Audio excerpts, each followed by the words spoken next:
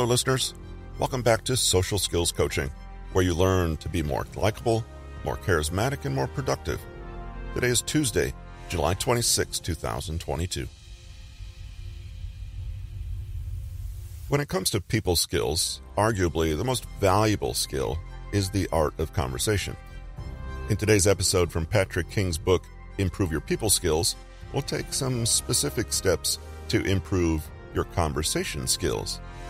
These steps will include conversational threading, signposting, transitional words, the HPM technique, clean language, it's not what you think, and we'll start off with the concept of chunking.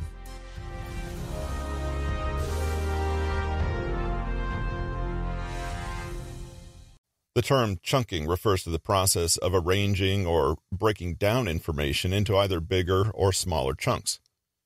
When we apply the idea to asking questions during a conversation, it's a strategy that may be used to vary the level of information you get coming back to you. This way, you can reach an agreement, acquire more and correct detail, or even persuade people to move from one plane of thought to another. Ultimately, it makes you a better and more masterful conversationalist. George A. Miller was a Harvard psychologist who fleshed out this theory in the 1950s. His big insight was into the way the human brain processes information. There are natural limits that we need to work around. Too much detail is a problem, but so is too little. We can work around these limits, however, with chunking. Let's begin with chunking down, where we use questions to bring the other person down to a less abstract, more detailed level. For example, you might be chatting to someone who is excitingly telling you their big visions and dreams, but you ask them something like, So, what do you think the next step is? Or, What do you think is fundamentally causing this problem in the first place? Chunking down questions is about finding out more and filling in the gaps of your understanding. It's about detail, as though you were zooming in with a microscope. But if you zoom in too closely, you lose the bigger picture, so to speak. Enter chunking down or asking questions that seek to understand the bigger picture that all the details come together to form. So, someone might tell you 20 little details about problems they're having with the project, and you could say, well, what do you think all these problems indicate? Or, what are you actually trying to achieve with this project? This is like zooming out again and reminding yourself of the bigger picture. Chunking up and down, then, are just like varying the degree of specificity versus generality. Your questions are a way to turn the dial on the microscope to zoom in or out. So, if we got really good at zooming in and out at will, how would this help our conversation skills? Well, try using chunking up to start with so you can get a broad view of what's going on. At work, for example, you can get a general outline of an issue at hand, or with a friend, you can ask very generally, So, how's life at the moment? When you want to identify specific goals or develop your understanding, you chunk down. For example, you pause and ask someone, can you tell me more? Or, what happened next to gather more details?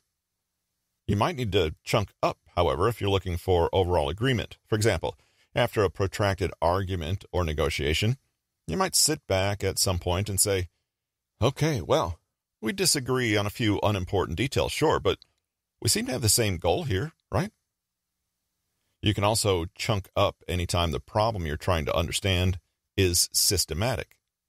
So you might have a discussion about a certain point of miscommunication with a family member, but after this happens a few times, you might like to chunk up and ask, why does this keep happening?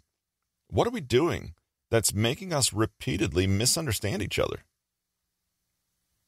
Basically, we chunk up when we want to gain more general understanding or encourage it in someone else, and we chunk down when we want more detail. Chunking up allows us to explore a broader purpose or intention, or see how the smaller instance fits into the bigger whole. Chunking down allows us to elaborate on examples, details, and explanations for a certain instance. Imagine two people disagree about what should be on the school curriculum, and things are getting heated because they're butting heads over whether religious education should have a place. One person notices they're getting bogged down in a detailed argument about the different norms and expectations around different religious orders and what they mean. To soothe this conflict, they chunk up and zoom out instead, thinking about generalized patterns, purpose, intentions, and the bigger picture. They say, well, we can agree that school should be a place where children learn a wide range of social, practical, and moral lessons. The other person will almost certainly agree. You found a source of agreement, and the argument diffuses somewhat. On the other hand, maybe you've been having a weekly counseling session where you chat pleasantly with a therapist, but without really going anywhere. After thinking about it, you realize you need to chunk down, and you ask in the next session, Do you think there's any specific, concrete thing I can be doing to help myself right now? You zoom up and start to operate on a more generalized level where you consider bigger pictures and overall purpose. So, you can see two primary functions of chunking. Chunking up can help you reach agreement, shift an argument, persuade people, or find common ground. Chunking down can help a wishy washy process become clearer and more focused, or help you narrow in on actions rather than just getting lost in theory. We can chunk up and down in conversations. Imagine we're using a funnel. We could start at the wide end and move to the narrow end of the funnel, or vice versa. At the wide end, we ask open ended questions, those that can have any answer. For example, what do you think of XYZ? At the narrow end, we ask more closed questions, those that have only a specific or yes or no answer. For example, what's your name? Or have you seen this movie? If you're getting to know someone more deeply, you can move from general to more specific, i.e., a probing style. They say they love films. You ask about their favorite film. They tell you Casablanca, and you ask about what they loved most about it, and so on. Depending on the context, this could be an inquisition style interview or a fascinating getting to know you conversation. This kind of funnel also allows you to zoom in on a specific problem or solution, and in the process, help calm people down and diffuse tension. Can you tell me what specifically has upset you?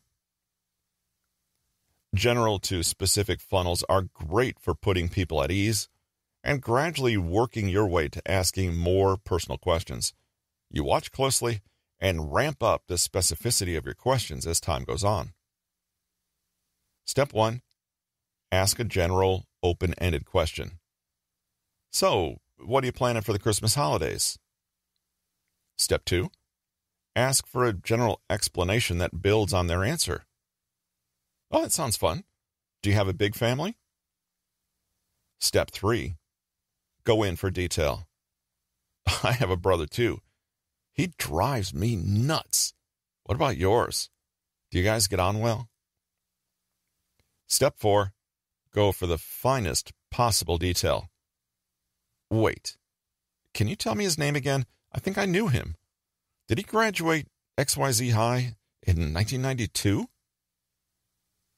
From the narrowest part of the funnel, you can open up questions again.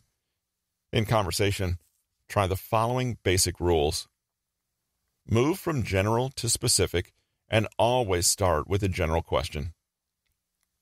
Vary your questions to gain more insight, but don't stay too long at any one level. Pay close attention to your conversation partner's response.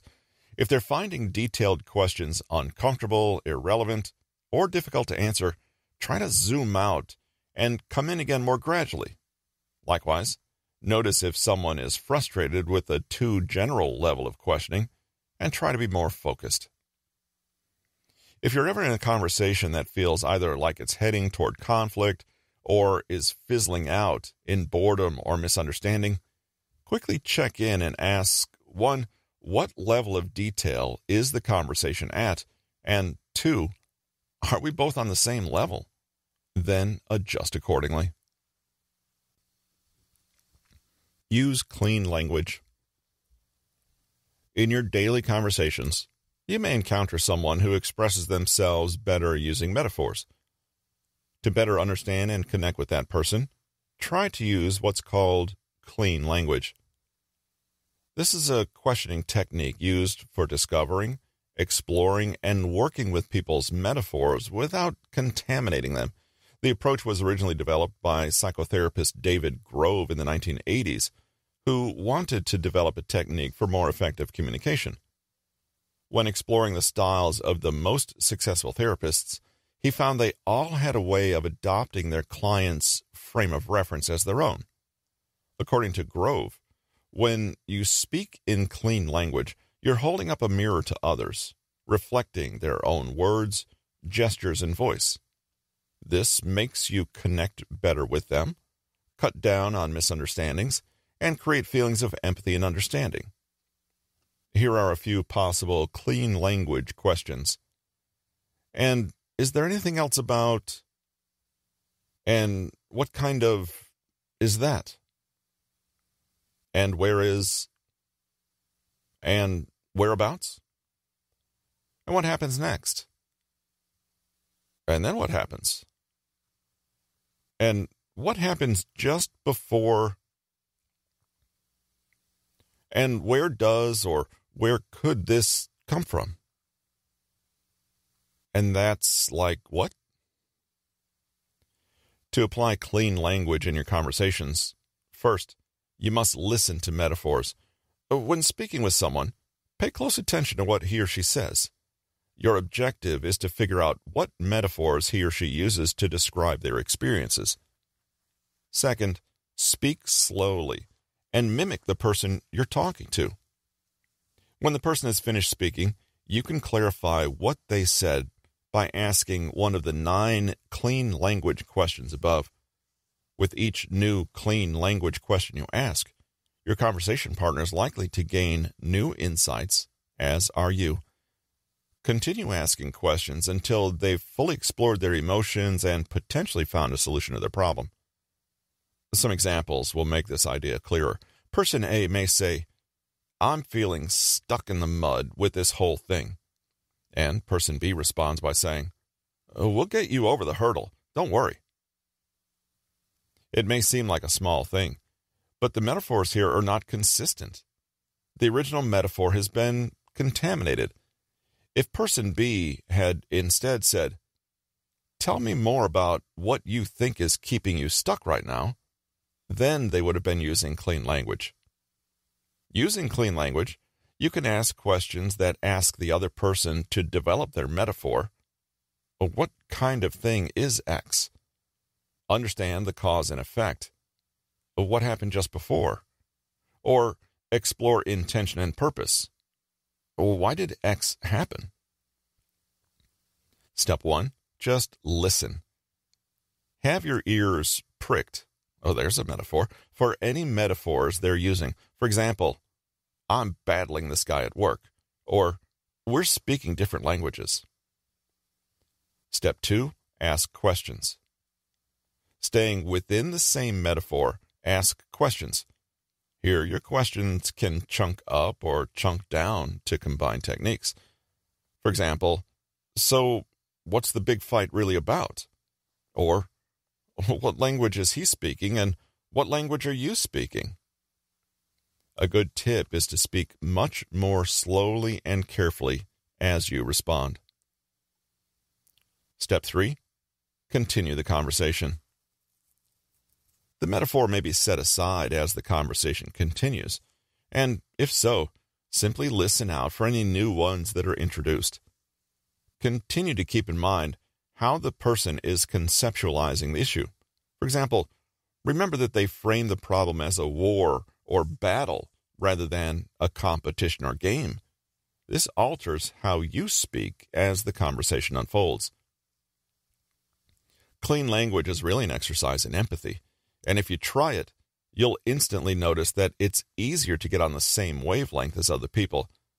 This will make them feel more heard by you And it will also help you better understand what they're experiencing and the issue in general.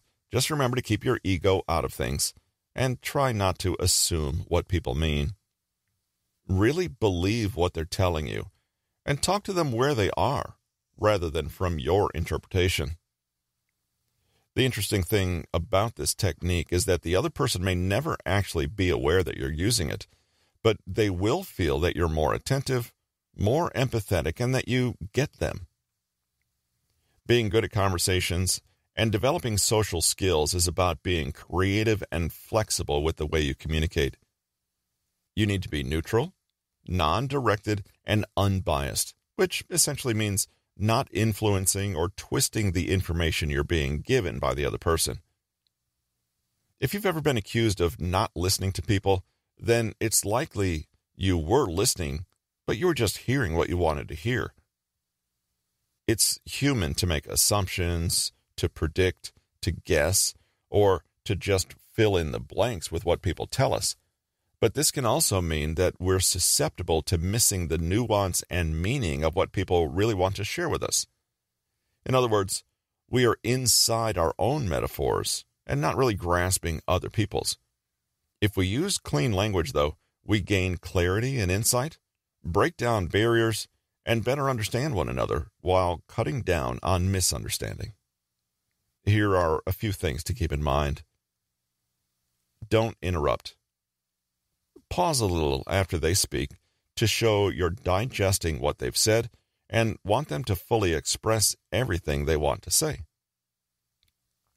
Try to forget about your world and immerse in theirs instead. How does the situation look from their point of view, regardless of your own? Literally mimic them. For example, if they keep saying hostage or keep returning to a metaphor of being lost in the woods, then imagine yourself copying and pasting those exact terms and phrases and using them yourself. Also, paraphrase them. If they elaborate on a metaphor of being lost in the woods, you can echo this by talking about wandering aimless or not being able to see the way out. Clean language is always useful, whether you're trying to show empathy, or gently persuade someone to your point of view. The irony is that you can usually best persuade someone when you first understand their point of view. When you're willing and unable to completely understand and step into someone else's world, then you're both much more likely to find a harmonious connection together. Use the improv technique HPM to get through awkward conversations. Chunking and clean language are not the only clever ways to navigate conversations. One very simple technique actually comes from the world of improv comedy, where thinking on your feet is essential. One of the most effective improv comedy techniques is called HPM, which stands for History, Philosophy, and Metaphor. Use this technique, and you'll never run out of things to say in a conversation again. First, to explore the history angle, you can mention a personal past experience relating to the topic. Next, for the philosophical angle, you can demonstrate what you feel or think regarding something, or your general philosophy on a particular topic. And lastly, close it with the metaphor angle by adding metaphors or figures of speech. Remembering the power of metaphors from the last section, you can see that this also, in effect, invites other people to take a peek into your worldview and perspective. The HPM framework is like having a mental template that you may use in both good and terrible times. It's a concept that can be applied to any topic at any time. And best of all, it makes no difference how smart or creative you or the people you're talking to are. When you run out of things to say, you can always rely on HPM to add some flavor to your conversation. If you notice a conversation is feeling awkward, stalled, or a little weird, just remember this simple acronym and it will come to your rescue. For example, when you're talking to someone about bands or music, you can apply HPM this way History. Mention a past experience. Late 2016, I saw Grimes at Glastonbury. Philosophy. Demonstrate what you feel. I was so amazed with her performance. It was a great experience for me and my friends. Metaphor. Describe it in a metaphor. Grimes is like a musical space fairy. Her sound makes me feel like I'm floating on the galaxy. Here's another example. You're casually chatting to someone new in your exercise class, and things are a little stilted because you don't really know them and on the surface don't appear to have much in common. They mention it's their first class, and you spot a chance to squeeze in an HPM. Oh, I remember my first class. It was excruciating. I started out thinking it would be too easy, but after about 20 minutes in, I was seeing my life flash before my eyes. At the end of the class, they basically had to scrape me off the floor. Use this technique, and you will never run out of things to say in a conversation again. Though asking questions to get over a lull in the conversation can work wonders, sometimes you can ask too many questions, and the other person will feel a little like they're being interviewed. Instead, make an HPM statement and watch how the conversation starts flowing again. A great way to start an HPM observation is with, This reminds me of, and then you can connect it with literally anything that's happening around you. It's also a great save when you're talking to a reserved or unresponsive person who isn't really running with the questions you're asking. As you can imagine, you can mix things up a bit with this technique, adding a little more H here or a lot more M there. Or you could combine them all together for something that's a more casual and spontaneous blend. The more you practice, the more you'll get the hang of it. The HPM technique works because it subtly reframes the goals of the conversation. Too many people get trapped in awkward conversations because they're too worried about appearing smart or interesting or proving something. But borrowing from the world of improv reframes the goal to something else fun. By using HPM, you're revealing a little about yourself and keeping the flow of the conversation going. You touch on universally appealing subjects that people will be able to connect with, and you do it all without needing to be witty or super intelligent. A few tips be relaxed and confident about it. Don't try too hard to be funny or interesting. Keep it short and sweet. Don't try to rehearse an HPM. The technique works best when it's spontaneous and in response to something you've been told or seen as the conversation unfolds. Don't be afraid to show a little of yourself.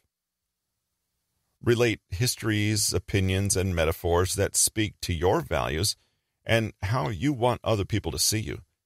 Just recall an event from your past, state how it made you feel, and then add in a metaphor for a little color. This can be done easily even in one sentence. Or you could draw it out and take longer to deliver your HPM, allowing the other person to step in and make observations or ask you questions. It's my first class. Oh, God. I remember my first class. Yeah? Well, what was it like? Well, I started out thinking it'd be too easy, but after about 20 minutes in, I was seeing my life flash before my eyes.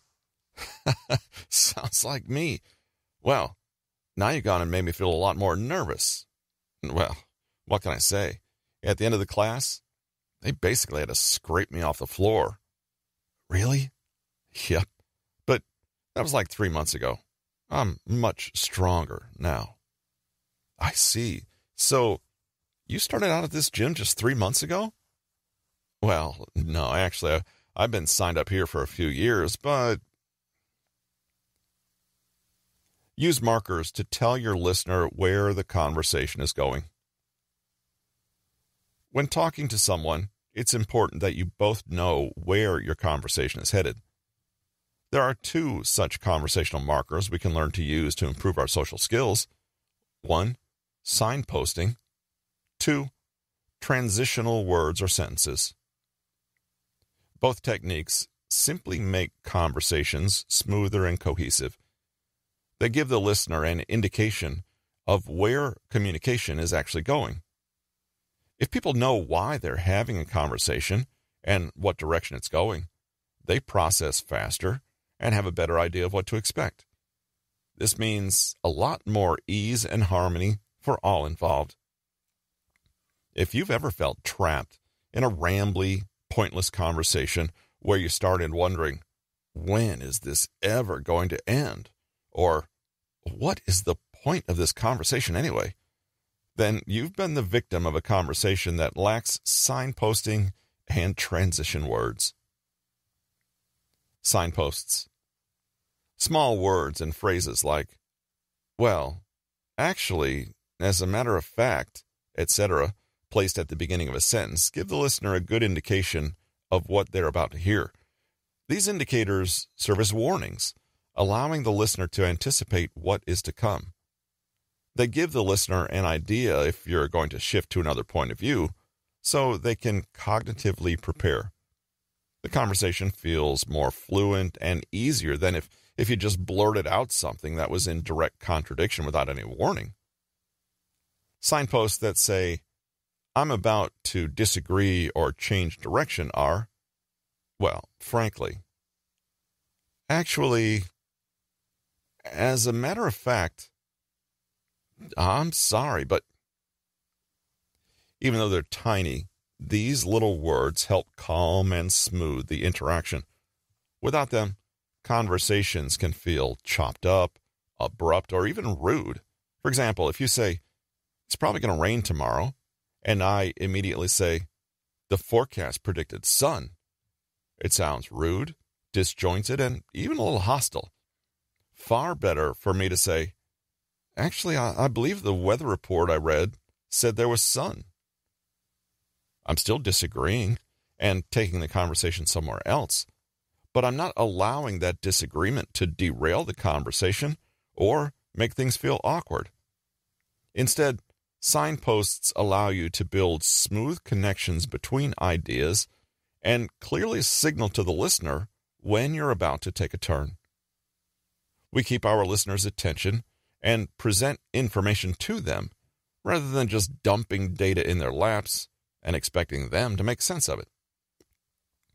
Another example of a signpost is when people say something like, There were three main issues here. First, this signals to the listener that there will be three things listed in order.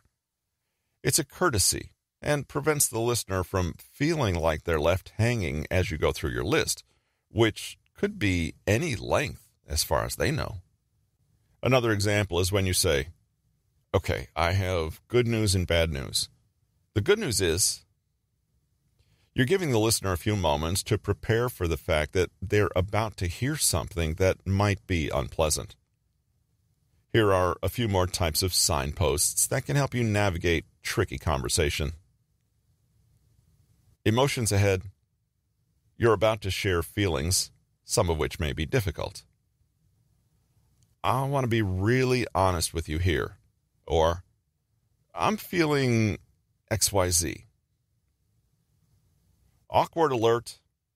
You're aware something is uncomfortable. I don't know how to say this, or this is a little embarrassing, but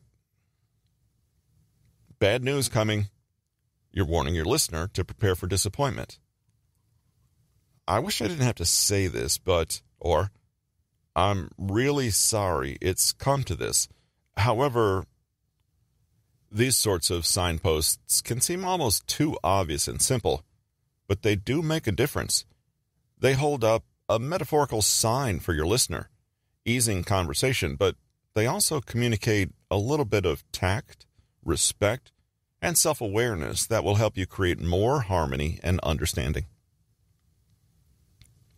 Transitions. Smoothly moving from one idea to the next using transitions is not just for written language, but spoken too.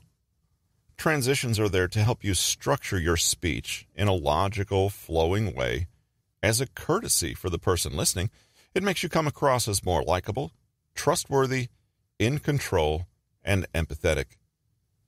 Example transitions are and, even more, further, moreover, two, in the second place, all about addition, and then, afterward, meanwhile, at the same time, subsequently, whenever, this time around, all about time and sequence of events.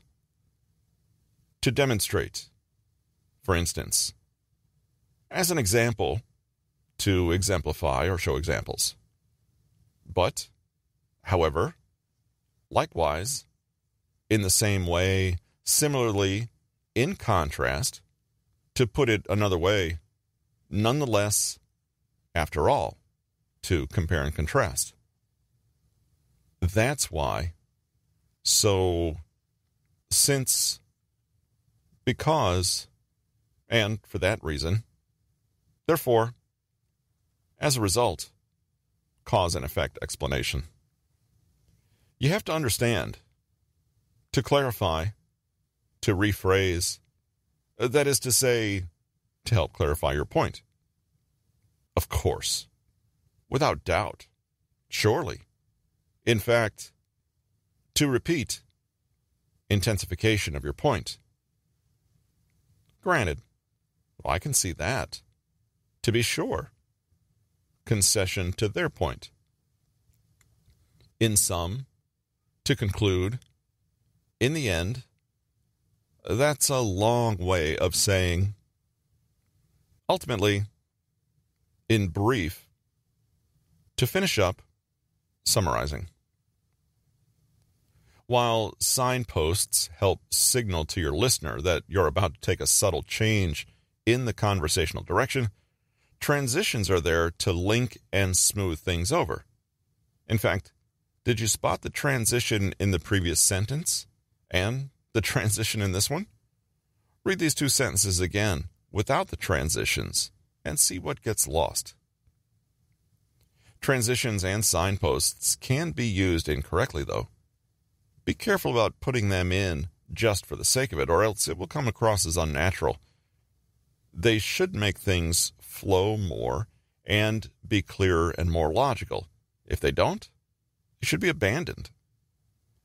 Be careful to use signposts and transitions as they are intended. For example, if you're a person who consistently premises their opinions with, in fact, you're going to annoy and confuse your listeners. If you keep saying, actually, and then proceed not to correct the person, but basically repeat what they've just said, you're misusing transitions. Finally, watch out for overuse.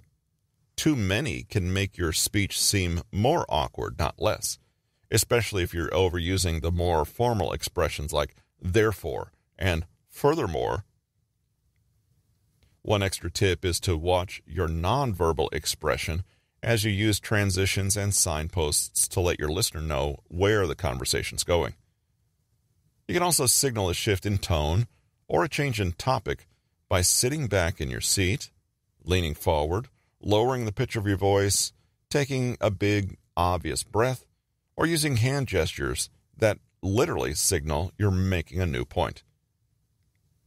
Some of us do all this naturally, but if we want to become better conversationalists overall, it's worth paying attention to how we present information to others and making efforts to deliver it as smoothly and logically as possible. Hold conversations with conversation threading. Let's look at one more practical and effective conversation skill to help improve your competency with people in social settings. Conversation threading is a method that will improve the overall quality of your engagements with others without ever feeling as if you're running out of things to say. It only involves four simple steps. First, to begin the conversation, ask a basic question. This gives the momentum time to grow. Second, wait for the individual to respond then listen for conversation cues. For example, I'm a fan of rock music. Third, ask an open ended inquiry on the conversation cue you just heard. This broadens the discussion. Tell me about the last rock band you've seen live. Lastly, wait for the individual to respond, and then listen for cues that will allow you to ask further questions. I enjoy this rock band called Charly Bliss. They aren't super famous yet, but they have some good tunes. Then, remark, followed by your open ended inquiry. That's incredible. Can you recommend their best rock song? I've been looking for new headbanger songs lately. Conversation threads are essentially points of interest, hooks, or leads. A thread can be an idea, a word, a phrase, anything. Usually, when we feel a conversation is boring or stuck, it's because we have tunnel vision and are no longer picking up threads and hooks to continue the conversation, but they're always there. Using a thread, you can elaborate on certain topics and open up new avenues to other interesting conversations. A bit like the way a hyperlink on a web page takes you to another web page when clicked. Good conversations need to flow. If you stay on the same topic, it will eventually dry up and you'll be left with nothing to say. You need to consistently identify, follow, and nurture threads, offshoots, and tangents to keep the conversation alive. You can drop some threads to pick up others, returning later to old threads when you need to pep things up again. This is an art to master, but there are also a few general rules that, if you practice, will make you a better conversationalist in time. Imagine that all the threads are literally the fabric of the conversation holding it all together. But how do you consciously create and use these threads? Person A, for example, says, How was your holiday? And person B says, It was great. It rained on the last day, but we went on some awesome hikes. We flew back yesterday. Pausing for a second, we can see that there are actually several conversational threads we could potentially pick up here rain, hiking, air travel. When you grab a hold of any of these, you're creating a thread. For example, you can latch onto hiking and run with it. Oh, wow. Were these really long and grueling hikes? Where did you go hiking? Did your whole family hike with you? Depending on how the person responds to each of these above questions, they generate yet more threads. You can follow the hiking thread for a few minutes and see where it takes you. As you go, you're generating more and more topics of potential interest to pursue. You listen carefully and grab hold of what interests you or what seems to inspire the most passion in the other person. The more threads, the more you're able to actually ignore the threads that aren't interesting to you or which you don't want to pursue. This is more useful than you realize since it gives you an out of a potentially boring tangent. Perhaps the word you home in on is, in fact, awesome and you decide to follow this thread by asking more details about the awesomeness of the hikes. So, what was the best part of the hike? Or, let me ask you, if I wanted to go on the single best hike in that area, which one should I choose?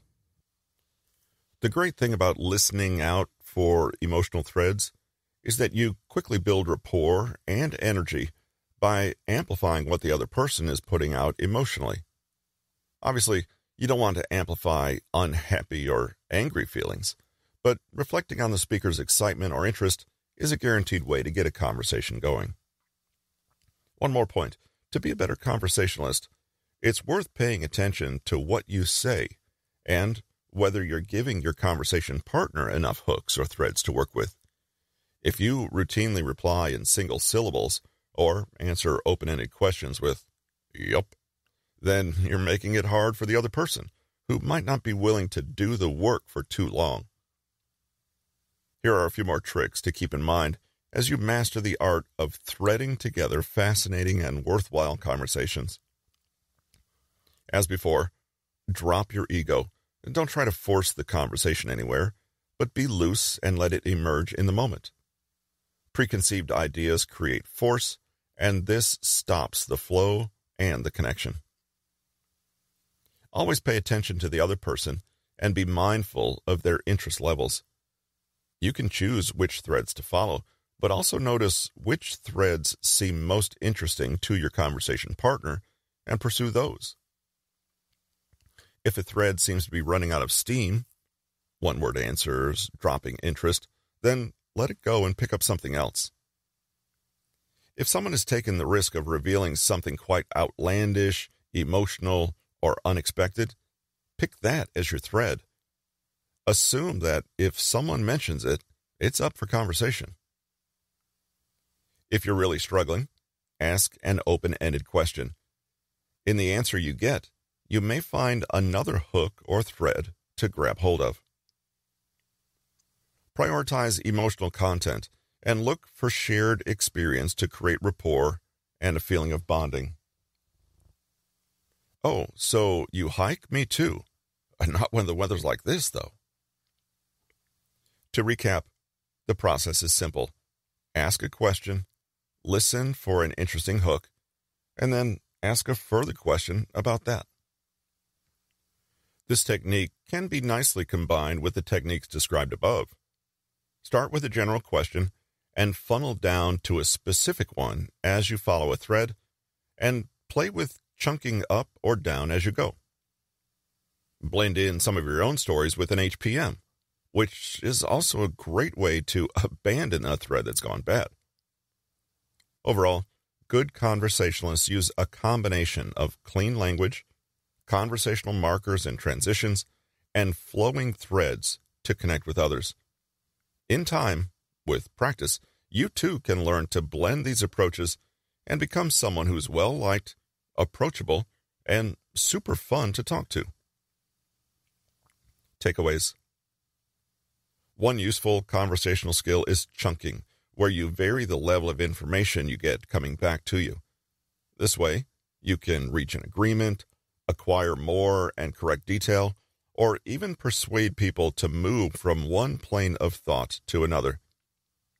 Chunk up to gain a broader view everyone can agree on, and chunk down to fine detail. Move from general to specific, keeping the other person's reactions in mind.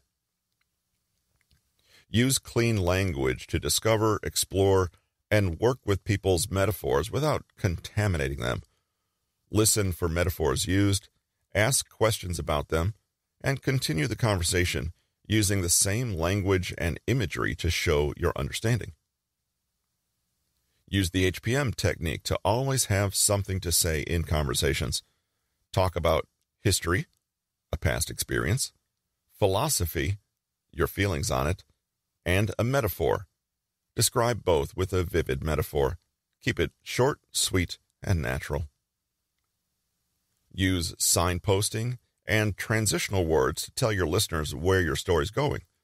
Signal what's coming and link your ideas logically using words that guide your listeners' understanding. Use conversational threading. Listen out for emotional hooks and pursue the conversation in that direction. Follow the most exciting or interesting leads and return to old unexplored ones when conversation flags or ideas run out.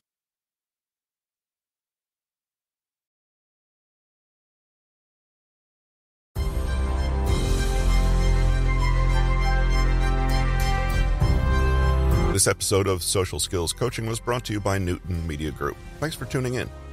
If you enjoyed today's episode, head on over to bit.ly slash PK Consulting to gain access to some free resources from our author, Patrick King.